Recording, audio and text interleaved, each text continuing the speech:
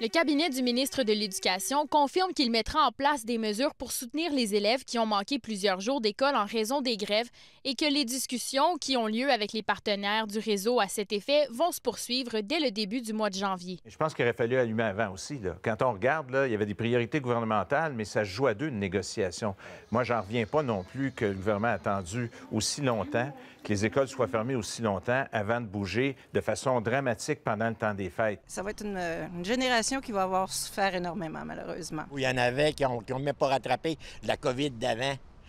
C'est certain que c'est pas fini, les jeunes? Eux, je veux pas, là. euh, Il y en a qui fait un mois qui étaient en grève, là. Ils ont un mois de perdu, eux autres. Le défi s'annonce colossal pour les enseignants qui reprendront le travail le 9 janvier après 22 jours d'absence, mais ils se disent prêts à le relever. Il faut savoir perdre du temps pour être capable d'en gagner. Puis présentement, dans le système d'éducation, ces enfants-là en difficulté, ils n'ont pas les ressources dont ils ont besoin.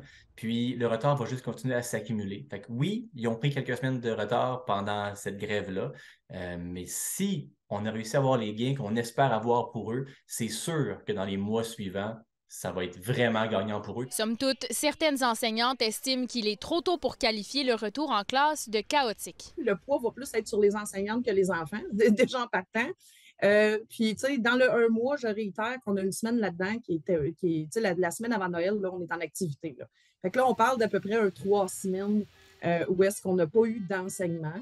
Euh, c'est pas quelque chose qui est irrattrapable. Euh, est-ce que euh, on va avoir un peu de brou dans le toupette, les enseignantes? Oui.